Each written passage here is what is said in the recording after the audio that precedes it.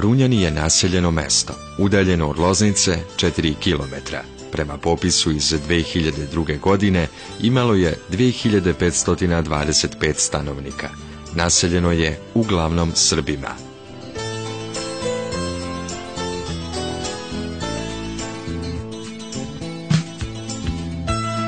Kroz naselje Runjani, jedno od najlepših u Bukovom zavičaju, protiče živopisna reka Žeravija, a blizu su i Jadar i Drina.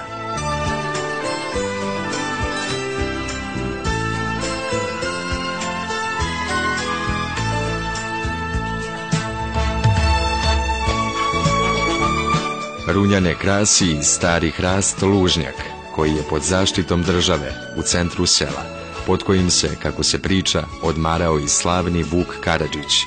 Vuk je tada sa svojom devojkom, čuvenom Ružom Todorovom, šetao pored Žeravije.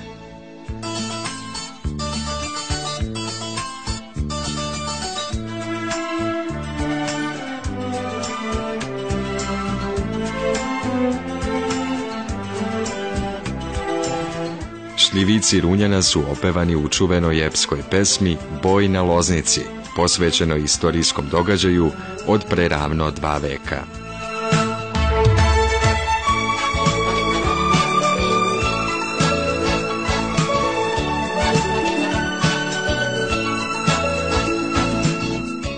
Iz Runjana je dejstvovala pomoć koja je opsednutoj Loznici došla iz Lešnice tokom bitke za Loznicu 1810. u prvom srpskom ustanku, što jeste tema ove pesme.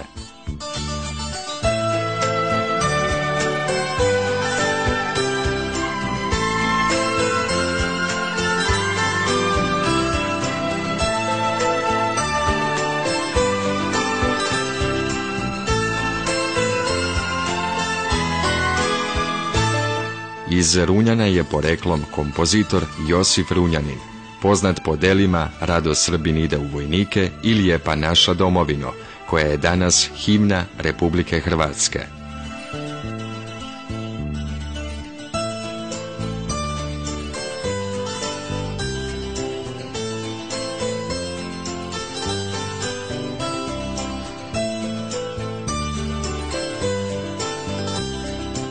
Jovan Zebić je bio srpski političar i ekonomista. Rođen je u Runjanima 1939.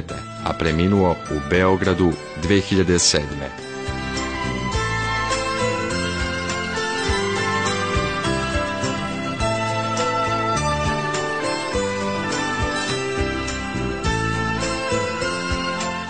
Radnu karijeru je počeo u Saveznom sekretarijatu za privredu, zatim je bio načelnik za privredu i financije Beogradske opštine Stari grad.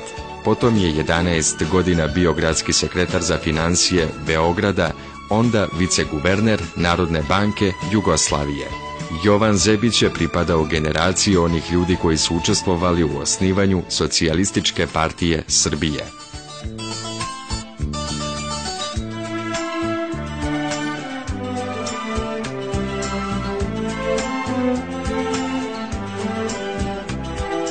2003. godine u dvorištu kuće Milojke i Milutina Pavlovića u Runjanima pred oko 500 ljudi održana je nesvakidašnja promocija. Miodrag Mile Pavlović, kako piše na koricama, predstavio je svoju knjigu Dva veka familije Pavlović iz Runjana, u kojoj je na 180 strana spakovao istoriju Pavlovića, ali i Runjana.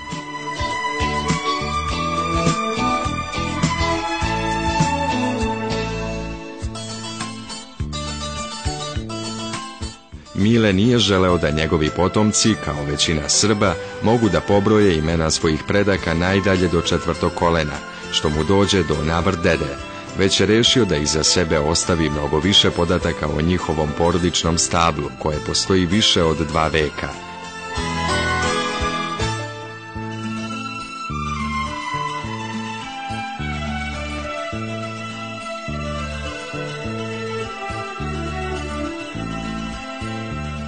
Da bi došao do podataka, Mile je prekopao na stotine spisa.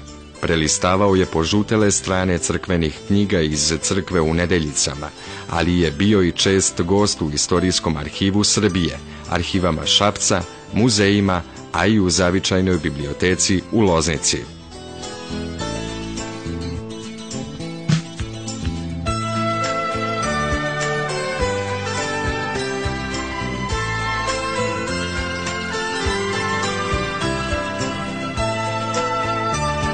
Tako su Pavlovići jedna od redkih, ako ne i jedina familija kod nas, koja ima na papiru svoju istoriju i zna po imence sve svoje pretke, do Askurđela i sedmog kolena unazad.